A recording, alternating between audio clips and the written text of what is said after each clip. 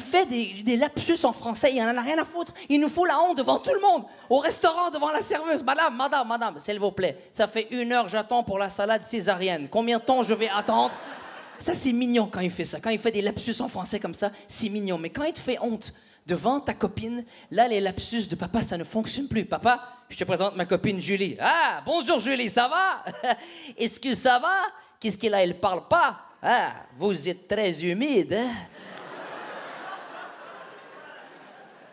Papa, on dit timide. Non, non, elle a les mêmes moites, humide. Ferme ta gueule, hein Mais tu vas voir, mon garçon, c'est un bon garçon. Il donne beaucoup d'infections. Donne-lui l'infection, vas-y, donne-lui. Hé, mais non, tu es seul. Fais attention. Ramène pas des filles faire des conneries, là, hein Il ne faut pas donner sa langue à la chatte. Fais attention avec ça. Tu vois? C'est ça. Ça, c'est mon père. Mon père, c'est pas un humoriste. Il ignore qu'il est drôle. C'est un ignoriste. Tu comprends?